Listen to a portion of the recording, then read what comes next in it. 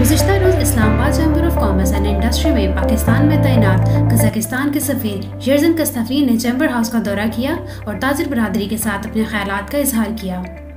इन्होंने कहा कि कजाकिस्तान इस साल अप्रैल से अलमाती और लाहौर और मई से अलमाती और कराची के दरमियान बरह रास्त परवाजें शुरू कर रहा है, जिससे दोनों ममालिक के दरमियान कारोबारी और अवामी रवाब मज़बूत होंगे। इन्होंने आईसीसीआई के वफद को बरह रास्त परवाज की फताही तकरीब में शिरकत करने के लिए कजाकिस्तान का दौरा करने की दावत दी। इन्होंने कहा कि कजाकिस्तान के सदर कासिम चोमार तोकायफ इस साल पाकिस्तान का दौरा करेंगे, जिससे दोनों ममालिक के दरमियान तजारती और इकतदी ताल्लुक के एक नए बाब का आगाज़ होगा।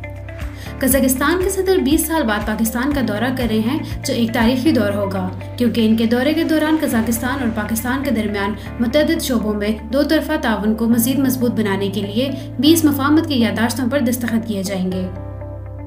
इन्होंने दोनों ममालिक के दरमियान पहली बार बरह रास्त परवाजें शुरू करने के लिए चैम्बर के सबक सदर ज़फ़र बख्तावरी के किरदार को सराहा, जिनकी कोशिशों से ये तारीखी कामयाबी हासिल हुई। इन्होंने कहा कि पाकिस्तान की कारोबारी खातन का एक वफ भी कजाकिस्तान का दौरा करेगा, ताकि वो कजाकिस्तान की अहम मनसूबों के साथ मुलाकात करके कारोबारी ताउन के नए मौके तलाश कर सकें। इन्होंने कहा कि कजाकिस्तान पाकिस्तान के साथ ट्रांजिट ट्रेड एग्रीमेंट करना चाहता है और दोनों ममालिक के बैंकिंग शोबों के दरमियान भी मुआदा करना चाहता है, जिससे दोनों ममालिक की कारोबारी बरदरी को बाहमी तजारत बेहतर करने में मदद मिलेगी।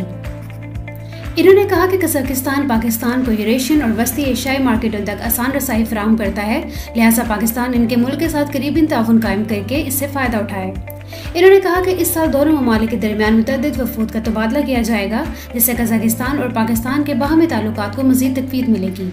इस मौके पर अपने ख्याल का इजहार करते हुए आई सी सी आई के सदर एहसन सफ़र बख्ताबी ने पेशकश की कि चैम्बर कजाकिस्तान के सदर के दौरे पाकिस्तान के दौरान इनके एजाज में एक इशाई तकरीब मुनद करना चाहता है। इन्होंने कहा कि दोनों ममालिक को तजारती ताल्लुक को मजीद बेहतर बनाने पर तोज्जा देनी चाहिए, क्योंकि इनकी मौजूदा बाहमी तजारत बहुत कम है। इन्होंने बरह रास्त परवाज़ों का आगाज़, खैर मकदम किया और यकीन दिलाया कि चैम्बर का वक्त इसकी अफ्ताही तकरीब में शिरकत के लिए कजाकिस्तान का दौरा करेगा। इन्होंने कहा कि दोनों ममालिक के दारकूमतों को मिलाने के लिए इस्लामाबाद और अस्ताना के दरमियान भी जल्द बरह रास्त परवाजें शुरू की जाएँगी, जिससे कारोबारी ताल्लुक मजीद बेहतर होंगे। इन्होंने कहा कि पाकिस्तानी बंदरगाहें कजाकिस्तान को मशरक वस्ती समेत दीगर मार्केटों तक मुख्तर तरीन रास्ता फराम करती हैं और इस बात पर ज़ोर दिया कि दोनों ममालिक को तजारती ताल्लुक को मजीद मज़बूत बनाने के लिए ज़मीनी और रेल रेलवे रवाब भी कायम करने चाहिए। इन्होंने कहा कि पाकिस्तान और कजाकिस्तान तमीरत, ज़रात तोानाई टेक्सटाइल, फार्मास्यूटिकल, सियाहत, इंजीनियरिंग, मशीनरी, बैंकिंग और फाइनेंस समेत मुतद शोबों में एक दूसरे के साथ ताउन कर सकते हैं। इन्होंने कजाकिस्तान के सरमाकारों को सी पैक समेत पाकिस्तान की मीशत के मुख्तलिफ़ शोबों में ज्वाइंट वेंचर्स और सरमाकारी की दावत दी और यकीन दिलाया कि चैम्बर इन्हें पाकिस्तान में कारोबार और सरमाकारी के मौके तलाश करने में हर मुमकिन ताउन फराहम करेगा।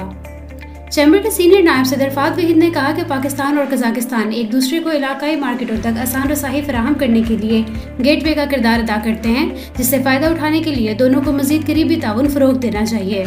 चैम्बर के सबक सदर ज़फ़र बख्तावरी ने पाकिस्तान और कजाकिस्तान के दरमियान बरह रास्त परवाज़ों के अजरा को एक तारीखी पेश रफ्त करार दिया।